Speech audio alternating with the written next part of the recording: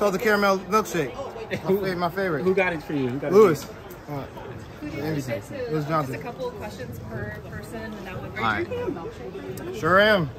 What flavor? Salted caramel. All right, Noah. So you had one left in the season. You came out here. I mean, what, what was the importance, I think, of coming out to the Diamond League final, put trying to put on a show for the fans, and how'd you feel? Felt great. Now there's probably like one or two things I wanted to do before going to the race, but you know, I, to be honest, I'm just here to have fun. You know, and I got my second fastest time of the year, so it shows that I still am in my peak condition.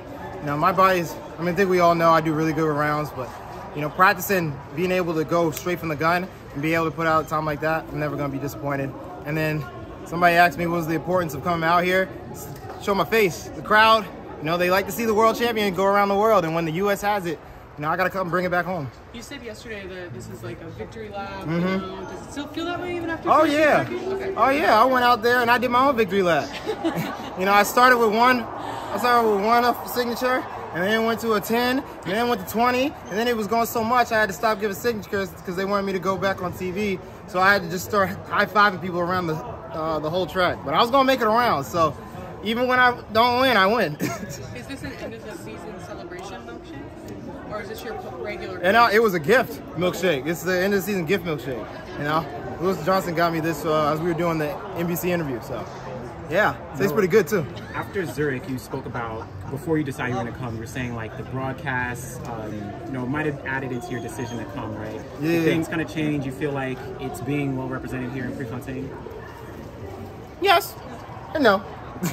It still got some work to do, but there was a lot of things that I saw at this meet that I was very impressed with. Doing the walk-ins, having the billboard set up, having a changing room, you know, all ideas that I've been pushing to meets all across the, the globe this year, and I'm finally glad to see that somebody did it to uh, the standard that I feel like it should be.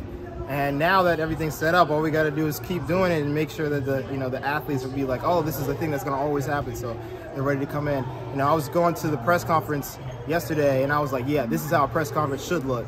You know, it, it was the lighting was good. It wasn't just some you know random spot on a track in the back of a room that nobody knows knows about. It's like filled with people. You know, even NBC or uh, ESPN showing up. You know, that's how it should be. And this hundred's about to go off, so I don't know if y'all want to watch that with me. You want to give us some Who you got? Yeah. Yeah, who do you think is gonna win the race? Sha'Carri. She hasn't lost to Shericka yet this year, so it's kind of hard because Shericka is always going to be my number one. But you know, Do you want to do some Habits real-time favor. announcing? Ah, I don't know. I can't see it that well. It's gonna be your practice. Who's that? This just got a mini. It's probably Tully. Shericka coming. And there's Shericka. We got a time.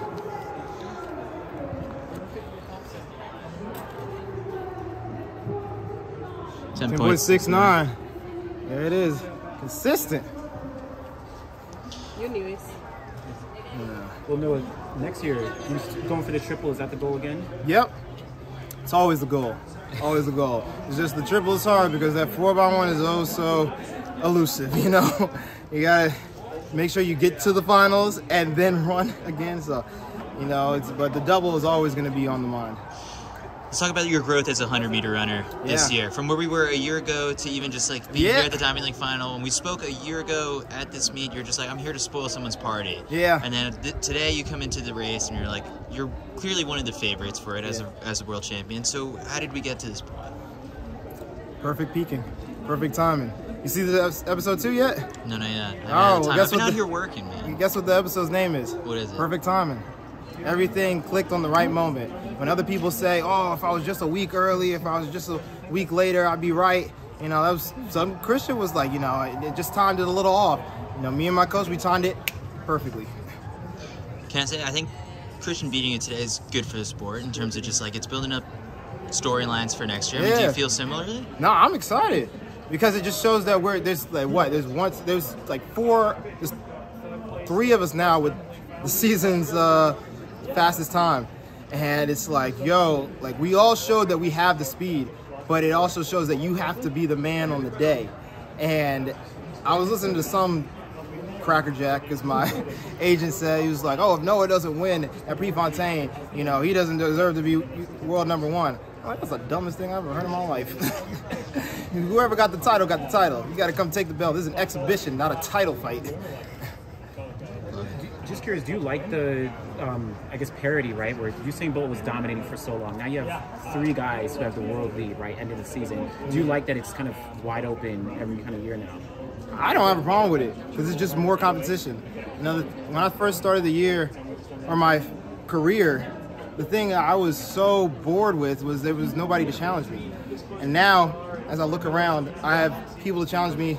Well, I have people to think that they can challenge me in the 200, and then I'm now pushing the the pace in the two, in the 100. Now, now everybody's like, I can't get beat by the 200 guy.